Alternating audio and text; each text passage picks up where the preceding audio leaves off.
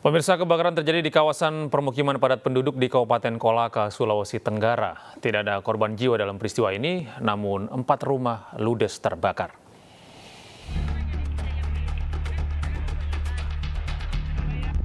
Empat rumah di pemukiman padat penduduk kawasan lingkungan tiga Kabupaten Kolaka, Sulawesi Tenggara ludes terbakar pada Senin pagi. Kencangnya angin dan banyaknya material mudah terbakar membuat api kian cepat membesar dan merambat. Sejumlah petugas pemadam kebakaran berupaya memadamkan api dengan mengerahkan empat mobil damkar. Dugaan sementara kebakaran terjadi akibat ledakan tabung gas. tabung gas. Kemudian kami turunkan empat armada. Untuk kerugiannya Pak? Kita perkirakan ini sekitar seratusan juta lah. Tidak ada korban jiwa dalam peristiwa ini namun kerugian ditaksir hingga mencapai ratusan juta rupiah. Dari Kabupaten Kolaka, Sulawesi Tenggara, Raja Budin, iNews melaporkan. Setelah sempat berjibaku selama lebih dari tiga jam, kobaran api yang membakar kantor Bapelitbang Kota Bandung akhirnya berhasil dipadamkan.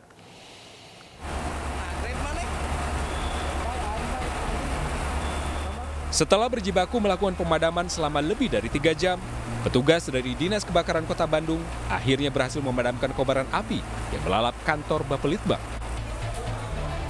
Petugas masih melakukan pendinginan di ruangan yang berada di lantai dua gedung, sementara para pegawai mencari barang-barang yang masih bisa diselamatkan. Wali Kota Bandung Yana Mulyana mengatakan pihaknya hingga kini belum mengetahui penyebab pasti kebakaran. Meski demikian, ia berharap ada barang-barang yang masih bisa diselamatkan di lokasi kebakaran. belum tahu. Untuk berkas-berkas gimana Pak? Ya kalau ini nanti kita coba lihat, karena kalau kertas-kertas mah itu pasti habis lah ya. Dan kan kita juga sebetulnya sudah eh, semua di digital ya, di backup digital. Cuman kan komputernya juga ikut kebakar. Tapi mudah-mudahan masih bisa terselamatkan disk. Kantor Bapelitbang di areal Balai Kota Bandung terbakar Senin siang. Api dengan cepat melalap seluruh bagian ruangan yang berada di lantai dua. Tidak ada korban jiwa dalam peristiwa tersebut. Penyebab kebakaran belum diketahui. Namun saksi mengatakan sebelum kebakaran ada aktivitas pengelasan di salah satu ruangan. Polisi telah mengamankan sejumlah saksi. Dari Bandung, Jawa Barat, Billy Maulana melaporkan. Sesosok mayat laki-laki ditemukan menyangkut di pompa air baku Peruk Jasa Tirta II Jatinegara, Jakarta. Diduga mayat tenggelam di aliran Kalimalang hingga terseret ke area penyaringan sampah pompa air baku.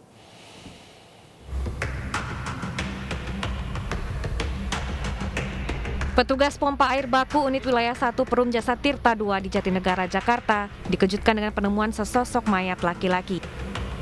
Mayat tersangkut di area penyaringan sampah, diduga mayat tenggelam di aliran Kalimalang hingga tubuhnya terseret ke pompa air baku. Saat ditemukan pertama kali oleh petugas yang sedang membersihkan sampah, mayat awalnya dikira bukan manusia. Setelah terlihat bentuk kaki manusia, petugas melaporkan penemuan mayat ini ke aparat Polsek Jatinegara sebelum dievakuasi. Tapi dia udah sempat nyangkut atau gimana? Ya nyangkut di jari-jari di sini, Hmm. keputar gitu. Iya. Jadi saya sempat lapor, ya maksud lapor dulu ke security, bahkan ada mayat nih. eh, nyangkut Untuk pemeriksaan lebih lanjut, jasad laki-laki ini kemudian dibawa ke Rumah Sakit Cipto Mangunkusumo untuk otopsi. Dari Jakarta, Rio Manik, iNews melaporkan. Menjebol tembok dan memanjat tembok, tujuh tahanan kabur dari rutan kelas 2B Sipirok, Kabupaten Tapanuli Selatan, Sumatera Utara.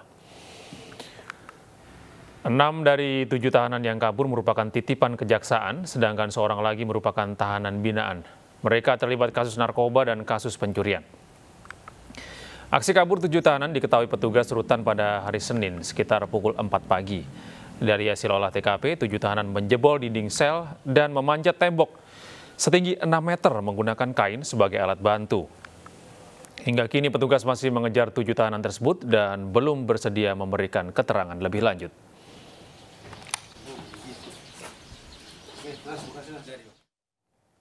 Pemirsa Polda Jawa Timur menangkap dua pelaku terduga pemeran video porno yang identik dengan kebaya merah. Polisi juga telah memeriksa hotel tempat pembuatan video tersebut.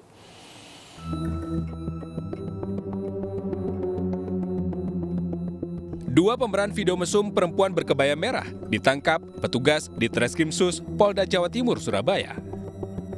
Identitas dua aktor video mesum itu pun terungkap.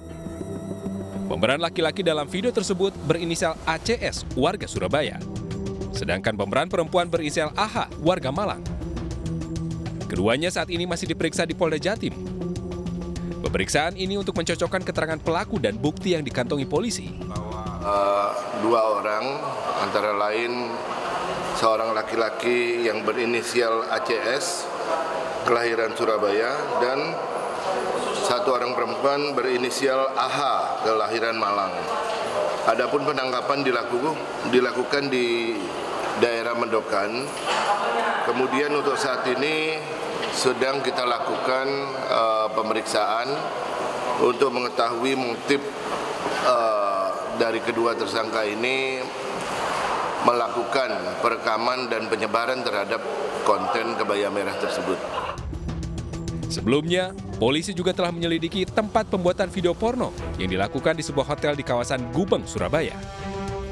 Akibat perbuatannya, kedua pelaku kini meringkuk di tahanan Polda Jatim. Dari Surabaya, Jawa Timur, Rahmat Ilyasan melaporkan.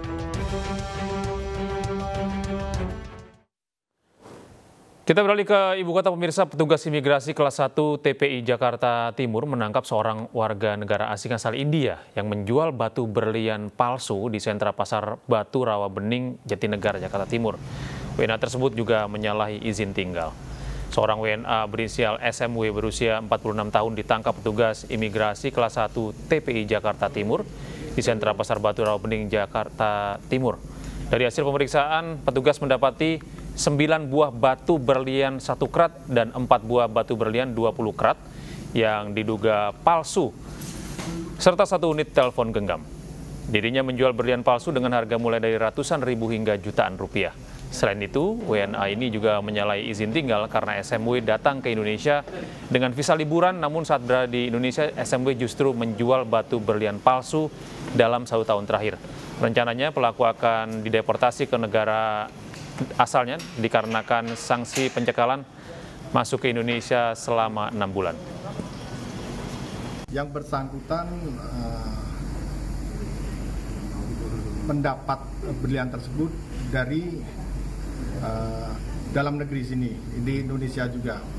Tapi kita belum melakukan pendalaman lebih lanjut dan juga belum uh, karena diduga ada beberapa orang lagi Eh, teman-teman uh, yang bersangkutan yang uh, juga berfungsi atau menjajakan. Uh. Pemirsa tingginya permintaan masyarakat membuat harga set-top box terus mengalami kenaikan. Warga pun mengaku keberatan karena harus mengeluarkan uang lebih banyak. Demi bisa menonton tayangan televisi di rumah, tak sedikit warga ibu kota yang rela berburu set-top box atau alat penerima saluran digital di toko elektronik. Seperti yang terlihat di sejumlah toko elektronik di Jalan Kembang Sepatu, Senen, Jakarta Pusat, sejak pagi hingga sore para pengunjung terus berdatangan untuk membeli set-top box dari berbagai merek dengan harga yang ditawarkan bervariasi, mulai dari Rp150.000 hingga Rp300.000. Sayangnya, tingginya permintaan masyarakat membuat harga set-top box terus mengalami kenaikan hingga 30 persen.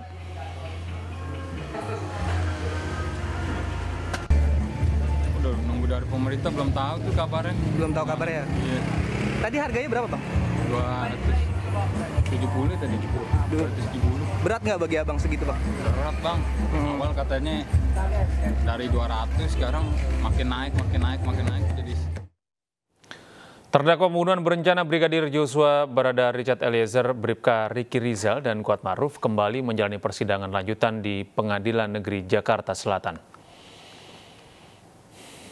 Sidang kasus pembunuhan Brigadir Joshua kembali digelar dengan agenda keterangan saksi dengan terdakwa Richard Eliezer, Riki Rizal, dan Kuat Maruf.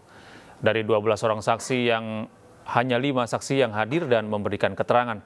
Mereka yang bersaksi adalah petugas swab di Smart Co Lab, Nevi Afrilia, dan Isbah Aska Tilawa, sopir ambulan Ahmad Syahrul Ramadan, legal counsel dari provider PT XL Aksiata Victor Kamang, serta provider PT Telekomunikasi Seluler bagian Officer Security and Tech Compliance Support Bimantara Jaya Diputro. Kelimanya bersaksi untuk terdakwa Richard Eliezer, Ricky Rizal, dan Kuat Maruf.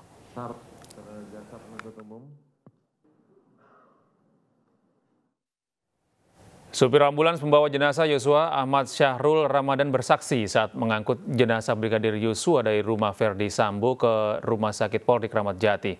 Ahmad mengaku melihat luka tembak di tubuh Yosua. Saat saudara mengangkat jenazah korban, Iya, yang mulia. kan tadi saudara mengatakan saudara memegang kepala. Baik, yang mulia. Ada sudah terhambur, ada keluar darah banyak? Pas diangkat itu megangnya tangan yang mulia. Hah? Tangan, Oh, bukan kepala. bukan yang mulia. Oke, kemudian? Dua-duanya. Oh, tangan begini ya. Oke. Dari bawah waktu diangkat kepalanya ada mengeluarkan darah? Ada yang mulia. Banyak? Itu nggak tahu keluar dari dalam organ tubuhnya atau dari genangan yang di eh, lantai itu yang mulia. Saya kurang ngerti juga karena saya tidak mengecek-ngecek lagi dan itu jenazah eh, ditutup masker. Saya tidak membuka-buka masker itu lagi. Oh, masih masker ya? Iya yang mulia. Ada lubang maskernya? Saya kurang lihat yang mulia. Kurang lihat. Iya. Luka apa yang saudara lihat pertama kali melihat jenazah? Hanya luka tembak yang mulia. Ya di mana? Di sini yang mulia, di dada. Tahu dari mana kalau itu luka tembak? Ada bolongan yang mulia. Oh, ada bolongan. Oke, di dada. Iya yang mulia. Sebelah kiri, kanan? Sebelah kiri kalau tidak salah yang mulia. Kiri. Kemudian apa lagi? Lalu darah yang mulia. Pergelangan? Tidak, tidak. Saya tidak lihat langsung. Saya teliti satu Enggak, persatu. pergelangan kan saudara memegang pergelangan tangannya, Iya yang mulia. tangan korban. Iya. Ada bekas luka tembak? Tidak melihat yang mulia. Karena wah, satu faktor buru-buru juga yang mulia. Ya. Leher ada? Saya tidak lihat yang mulia. Tidak lihat. Di belakang kepala? Tidak melihat yang mulia. Tidak melihat juga. Saudara masukin dalam kantong jenazah. Baik yang mulia. Setelah itu saudara dibantu itu ya? Iya. Sementara itu, Legal Counsel Provider XL Aksiata Victor Kamang bersaksi. Pihaknya hanya menyerahkan data percakapan seluler. Victor menyatakan penyerahan sejumlah file berupa data registrasi atas nama di antaranya Nofriansyah Yosua Huta Barat, Putri Chandrawati, Richard Eliezer, dan Kuat Maruf. Kami pernah mendapatkan dua surat eh, di 2 September dan 21 September. Eh, yang pertama di tanggal 2 September surat nomor R garing 653 itu meminta eh, nomor handphone yang terdaftar atas nama Nofriansyah Yosua Huta Barat, Putri Chandrawati, Susi, Richard Eliezer Pudihang Lumiu, Ricky Rizal Wibowo dan Kuat Ma'ruf dan nomor 087 888 258 777. Oke, itu nomor siapa yang terakhir tadi? Nah, kami mengecek yang mulia, Ah. tapi saya tidak mengetahui itu nomor siapa. Dari kami hanya keluar nick dan noknya saja, karena nomor ini nomor prabayar sesuai dengan ketentuan Kominfo yang boleh kami simpan hanya nick dan noknya saja. Yang saudara serahkan berbentuk apa? Berbentuk file dari email yang mulia. File dan email. Iya, karena File- saya capture. Jadi hasilnya, hasil dari sistem itu saya capture, lalu saya Oke. serahkan kepada penyidik. Apa isinya yang saudara capture itu? Uh, nick dan noknya. Nick dan noknya. Selebihnya percakapan atau komunikasi ada? Em, ada, ada saya serahkan juga CDR-nya. Oke. Tapi hanya satu CDR ini karena kembali lagi waktu itu penyidik menanyakan kalau yang lain mana, saya bilang "Eh, ini hanya bisa dari nomor telepon yang mulia. Lalu eh, CDR-nya itu saya query, saya tarik, dan saya serahkan kepada penyidik. Kita beralih ke kasus lain pemirsa Polda Metro Jaya melimpahkan berkas penyidikan tahap 1 kasus narkoba dengan tersangka mantan Kapolda Sumatera Barat Irjen Teddy Minahasa serta AKBP Dodi Prawira Negara ke Kejaksaan Tinggi DKI Jakarta. Kejaksaan Tinggi DKI Jakarta menerima berkas perkara kasus penyalahgunaan narkotika dengan tersangka Irjen Teddy Minahasa. Pelimpahan berkas tahap 1 dilaksanakan pada 4 November lalu. Sedangkan berkas enam tersangka lainnya, jaksa penuntut umum sudah diterima pada tanggal 27 Oktober yang lalu. Saat ini tengah dilakukan pemeriksaan. Setelah berkas perkara diterima atau P16, jaksa memiliki waktu maksimal 14 hari untuk meneliti berkas sebelum dinyatakan lengkap atau perlu adanya perbaikan. perkembangan penanganan perkara tersangka atas nama TM. Berkas perkara sudah kita terima, kami terima eh, dari penyidik Polda Metro Jaya itu pada tanggal 4 November 2000. Pemirsa puluhan pencari kerja pingsan saat berdesakan di acara job fair di Batam, Kepulauan Riau. Panitia menghentikan kegiatan dan membubarkan para pencari kerja di lokasi.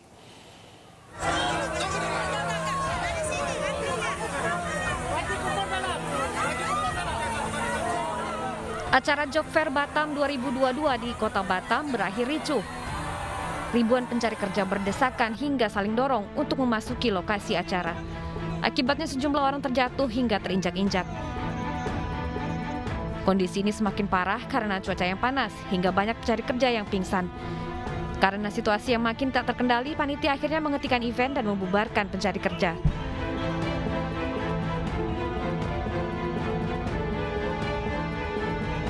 Saya lihat dari volume peserta pencak pencari kerja, pencaker ini cukup banyak sekali. Ya.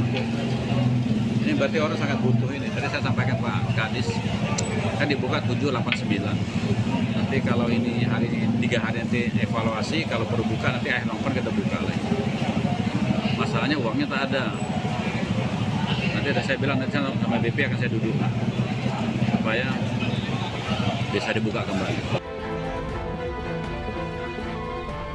Job Fair Batam 2002 dibuka selama tiga hari dan diikuti 32 perusahaan di Batam. Dalam event ini, perusahaan menargetkan merekrut sebanyak 1.900 pekerja. Dari Batam, Kepulauan Riau, Gusti Yenosa, iNews melaporkan. Presiden Joko Widodo hadir dalam peringatan hari ulang tahun ke-8 Partai Perindo. Dalam sambutannya, Presiden Jokowi mengingatkan partai soal calon presiden. Presiden Joko Widodo kembali mengingatkan partai politik khususnya partai koalisi untuk berhati-hati dalam memilih calon presiden dan calon wakil presiden pada Pilpres mendatang. Peringatan disampaikan Presiden saat menghadiri HUT ke-8 Partai Perindo di Gedung Anyus, Kebon Siri, Jakarta Pusat. Presiden berharap Perindo hati-hati dalam memilih kandidat karena akan membantu threshold. Selain itu, Perindo juga diingatkan jangan terlalu lama mendeklarasikan capres dan cawapres karena waktu terus bergulir.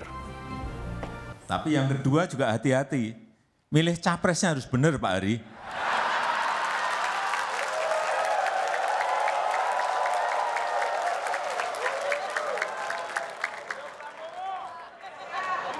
Karena nanti akan membantu partai mengejar threshold. Hati-hati. Milih capresnya hati-hati, milih cawapresnya hati-hati. Tapi kalau bisa juga jangan terlambat deklarasi juga. Yang kedua, tadi Pak Hari menyampaikan, saya ini dua kali wali kota. Di Solo menang. Kemudian ditarik ke Jakarta, gubernur sekali menang. Kemudian dua kali di pemilu presiden juga menang. Mohon maaf Pak Prabowo.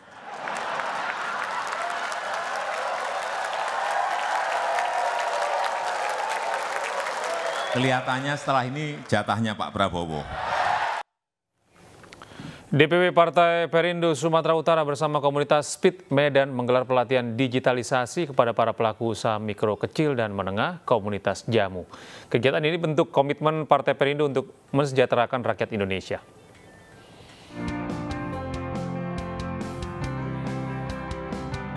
Pelatihan digitalisasi kepada komunitas jamu ini digagas oleh DPW Partai Perindo Sumatera Utara bersama komunitas Speed Medan. Kegiatan ini merupakan bagian dari program Ketua Umum Partai Perindo Haritanu Sudibyo untuk mensejahterakan rakyat Indonesia serta upaya mendukung meningkatkan omset penjualan jamu tradisional. Ibu-ibu jamu yang tadinya berkeliling menjajakan eh, dagangannya melalui melalui sepeda keliling kampung. Hari ini kita ingin membuat sebuah terobosan baru kepada ibu-ibu tersebut agar memasarkannya melalui digital. Program digitalisasi yang diinisiasi oleh DPW Partai Perindo Sumatera Utara ini disambut antusias komunitas jamu. Terima kasih kepada Partai Perindo yang telah mensupport dan memfasilitasi kami untuk pembelajaran digital marketing. Komunitas jamu di Medan, Sumatera Utara ini berharap program serupa tetap berlanjut untuk membimbing para pelaku UMKM agar maju dan modern. Dari Medan, Sumatera Utara, Sadam Husin, iNews melaporkan. Jelang penghujung tahun, Kementerian Perdagangan dan Badan Pangan Nasional memastikan stok beras untuk wilayah DKI Jakarta dan nasional. Saat ini stok beras nasional di gudang Bulog tercatat 6,6 juta ton dan akan bertambah 1,2 juta dalam waktu dekat. Menteri Perdagangan, Jabat Gubernur DKI Jakarta dan Kepala Badan Pangan Nasional memeriksa ketersediaan beras di Pasar Induk Beras Cipinang, Jakarta Timur. Setelah berkeliling ke beberapa toko beras, Menteri Perdagangan memastikan stok beras masih cukup, aman, dan harga beras stabil. Saat ini beras jenis medium di Pasar Induk Cipinang dipatok di harga Rp8.900 per kilogram, sementara harga beras premium bervariasi antara Rp10.000 hingga Rp20.000 per kilogram. Untuk menambah stok beras di DKI Jakarta, Badan Pangan Nasional akan memasok beras dari Sulawesi Selatan sebesar 6.000 ton dan 9.000 ton dari Nusa Tenggara Barat. Jumlah ini akan bertambah dengan dukungan pasokan Bulog di sekitar DKI Jakarta sebesar 14.000 ton. Angka yang inflasinya tinggi ter, uh, termasuk volatile food itu menjadi concern kita semua. Tapi kalau kita lihat kan bulan lalu kan deflasi sehingga ini ada PR1 harga beras. Kalau harga yang lain hari ini semuanya landai dan malah cenderung turun. Sehingga beras ini perlu dilakukan operasi pasar hari ini berapapun stok yang diperlukan, ya ekspektasi masyarakat termasuk pasar induk Cipinang yang ada di Runut sekitar 3.000 ton seminggu ini akan kita penuhi. Tentunya mobilisasi stok dari gudang-gudang bulog yang ada di Wakil Presiden Maruf Amin tiba di Resort Sharm El Sheikh, Mesir untuk menghadiri KTT Perubahan Iklim atau PBB atau COP27. Anjus Pagi akan segera kembali.